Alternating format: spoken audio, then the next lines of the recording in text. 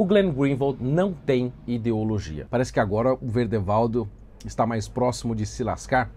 Será que é realmente isso que está acontecendo? Eu vou colocar para vocês aqui no meu vídeo duas observações sérias sobre este caso, porque a Polícia Federal iniciou uma operação chamada spoofing, né, que é para tratar das fraudes e do uso de informações cibernéticas para enganar, etc. E é o seguinte, eles prenderam quatro pessoas em algumas cidades de São Paulo, Araraquara, Ribeirão Preto, etc. E que supostamente essas pessoas estariam envolvidas, então, em crimes cibernéticos. É, e, e a Polícia Federal, então, está investigando e vendo, fez prisão preventiva desses fulanos, etc. Mas eu preciso fazer duas observações. Primeiro, sobre é, a prisão desses quatro hackers e depois sobre o que eu acho realmente que é o esquema do Verdevaldo e que ninguém colocou isso em público. Eu acho que eu matei a charada do pano de fundo, da verdadeira intenção do Verdevaldo com essa história toda. A primeira coisa em relação a esses quatro hackers, que a gente precisa ter atenção é o seguinte: eu acho muito, muito, muito improvável que esses quatro hackers aqui do Brasil estejam envolvidos no caso do Verdevaldo. Se estiverem envolvidos, o que eu acho difícil, eles são apenas receptadores de hackers internacionais. O Verdevaldo, por, pela operação que foi deflagrada, e se de fato isso aconteceu mesmo, parece que aconteceu, né, de ter invadido celulares de procuradores da Lava Jato ou até da Joyce Hassman, do Paulo Guedes, de, outros, de outras pessoas, pelo que estão circulando as notícias por aí, é muito, muito difícil que isso tenha sido feito aqui no Brasil.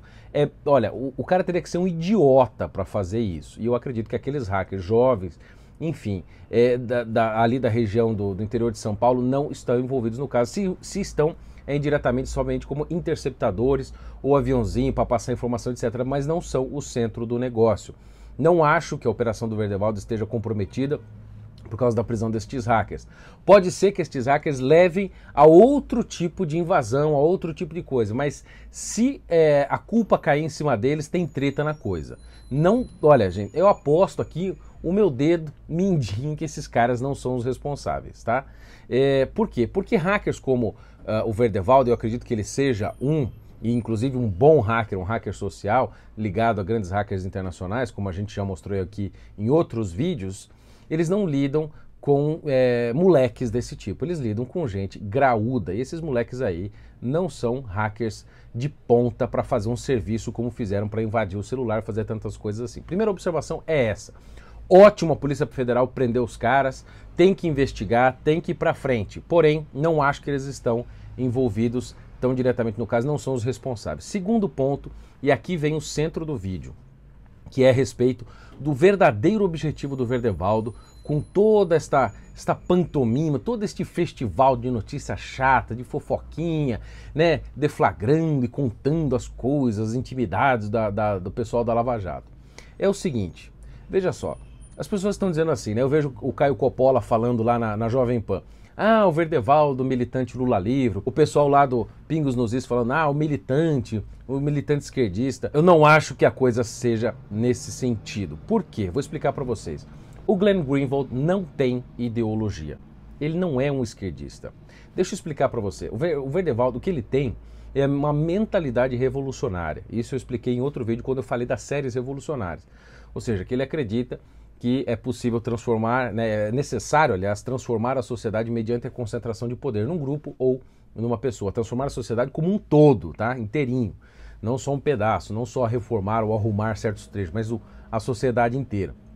Mas bem, é, e você vê, por exemplo, que o Verdevaldo não tem uma ideologia específica. Eu mostrei no vídeo, por exemplo, o Verdevaldo é, participando quatro anos seguidos de conferências socialistas como um dos, uh, um dos, dos palestrantes principais do evento dizendo que ele estava muito animado, como foi bom participar ali. Só que por outro lado, a gente vê várias e várias posições dele defendendo o Islã, inclusive algumas delas até tentando passar um pano no Islã radical.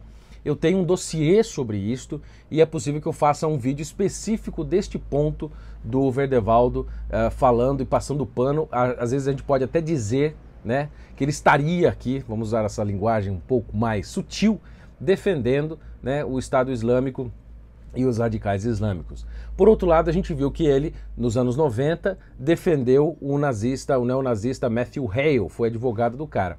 Mas por um outro lado, a gente percebe que ele trabalha para um multimilionário do plano, vamos dizer assim, da ordem globalista, é? que quer criar essa central de burocratas e técnicos sem ideologia para administrar o mundo, né? que é o Pierre Romediat, uh, aquele francês globalista. Então, assim, ele está dentro do aspecto globalista, já defendeu o nazista, já fez conferência, esteve junto é, com, com os socialistas. Aqui no Brasil ele parece muito mais com o socialista, porém também já tem ligações estritas e, e tem certas afeições com o Islã e algum problema aí que ele tem com os judeus, o que talvez justifique a posição dele com os nazistas. Então você pode perceber que o Verdebal não tem uma ideologia específica. Né? Ele é simplesmente um revolucionário, tudo que é coisa de revolução ele vai entrando. Mas no fim das contas, o que eu acho mesmo dessa história é o seguinte: é, ele não está afim de soltar o Lula, etc. Isso aí vai ser um bônus para ele se acontecer. O que ele quer com toda essa história é o seguinte: o que, que um hacker como ele, um hacker que a gente pode dizer que ele é um hacker social, vamos dizer assim, se é que a gente pode falar, vamos dizer que ele é um hacker social. E ele então faz o seguinte: essa é toda a minha hipótese. Ele vai lá, contrata esses hackers ou ele mesmo faz junto com um grupo, invade o celular, obtém todas as informações Uh, ali que ele conseguiu do celular do Sérgio Moro, Delanhol e todo o pessoal. Naquelas conversas ali, não está só as conversas a respeito da Lava Jato. Não está só as conversas que a gente viu, ou seja, das negociações, das falas, etc., do Moro com os procuradores da Lava Jato e com o Delanhol. O que é que tem também naquelas conversas? É óbvio que ali tem tratativas de outros casos que a Lava Jato está analisando e investigando que nós não sabemos de investigados que ainda não vieram a público, de processos que estão correndo e ninguém está sabendo, de várias outras pessoas envolvidas que nós não sabemos e só o pessoal da Lava Jato sabia. E aquelas coisas eram discutidas nesses grupos. Então é óbvio tem informações pessoais do Sérgio Moro, mas tem informação pessoal de outras pessoas que não sabiam ou não sabem que estão sendo investigadas pela Lava Jato e até por outras operações que eles podem estar comentando ali nas conversas. Então, além das informações sobre a Lava Jato, que foram colocadas a público pelo The Intercept, pelo Glenn Greenwald, pelo Verdevaldo, né? Tem informações sobre outros casos que o Verdevaldo não revelou e não vai revelar. E o que é que ele faz quando ele anuncia para o mundo inteiro que ele tem informações privadas do juiz da Lava Jato e dos procuradores? Ele está dizendo para o mundo do crime o seguinte: eu tenho dossiês, eu tenho, vamos dizer, informações privilegiadas, secretas sobre os seus casos. Vamos imaginar sobre a Glaze Hoffman, sobre o Rui Falcão, sobre o José Dirceu, outros processos, outros processos em cima do Lula. Ele tem informação sobre grandes empresários da mídia, por que não? Por que não, sei lá, ministros do Supremo estão sendo investigados pela Lava Jato? Será que não, isso não foi tratado dentro dessas conversas? E o que, que ele faz quando ele anuncia para o mundo que ele muito provavelmente tem isso? As pessoas que são culpadas e que sabem que fizeram besteira e crime, obviamente, vão tentar obter essa informação. E o que, que o Verdivaldo faz? Vende esta informação por um preço caríssimo. Se você fosse, vamos imaginar, o ministro Dias Toffoli, que acabou agora com investigações da Polícia Federal e do Ministério Público com base nos dados do COAF da Receita Federal. Imagina que você é o Dias Toffoli, ex-advogado do PT, e você sabe que você se envolveu na Lava Jato. E aí, de repente, você sabe que alguém obteve informações do juiz da Lava Jato e dos procuradores. Quanto você pagaria para não obter uma informação? Para poder livrar a sua cara, para poder se adiantar a, aos passos da Polícia Federal, poder limpar toda a documentação e não ser, uh, vamos dizer, pego ou não ter todos os seus materiais apreendidos, antecipar uma busca e apreensão na sua casa da Polícia Federal às 6 horas da manhã. O todo o esquema do Verdivaldo, a minha suposição é esta, de que ele fez tudo isso para anunciar que ele tem informação privilegiada de criminosos e que ele vai vender e deve já estar vendendo isso. Talvez essa medida do Toffoli para bloquear o COAF, né, a investigação com base nos dados do COAF, seja com base nos dados que o Verdevaldo vendeu para ele ou cedeu. Nós não sabemos por causa de alguma negociação. O Verdevaldo não está atrás de soltar o Lula nem nada, ele está atrás de dinheiro e poder. Esta é minha hipótese e eu acho que é a que fala mais alto. Por quê? Hacker geralmente não tem ideologia. Eles trabalham para quem paga mais. E quem tem mais dinheiro nesse país? A esquerda ou os grandes grupos de criminosos. Então, meus caros, esta é a minha hipótese.